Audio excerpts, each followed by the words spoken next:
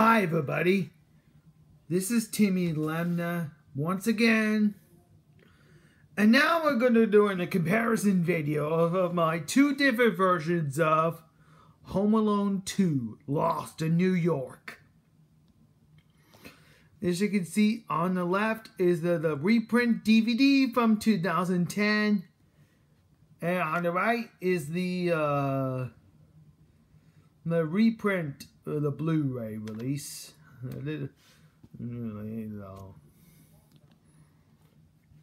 It's a 2015 Blu-ray. Let me show the DVD first.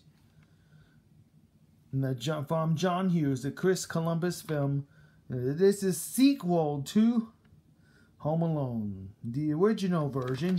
Here's the front, the spine, the countable file of Kevin. And the back, and it says, America's smallest hero takes a giant bite out of the Big Apple. Roger Gus, directed by Roger Gosnell. This is a 2010 release. This move, the movie is from 1992.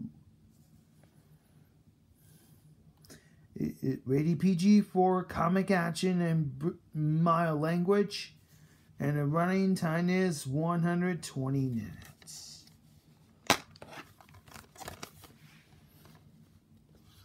Here's the disc itself. And don't forget on the left is an Eco Box case that Cartoon Man 13 calls it. Don't forget it.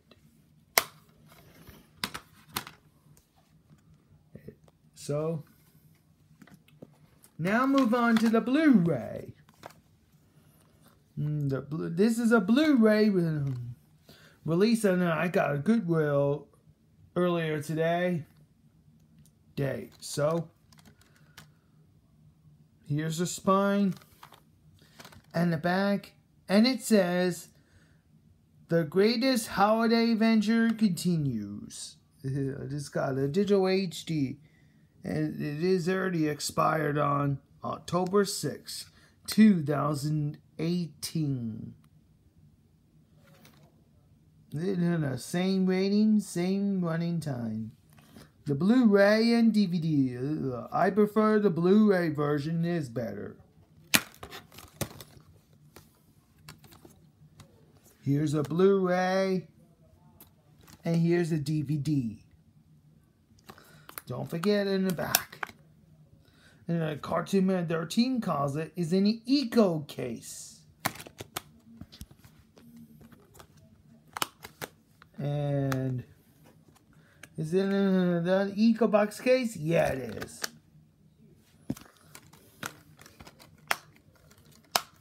All right. And there you have it, folks.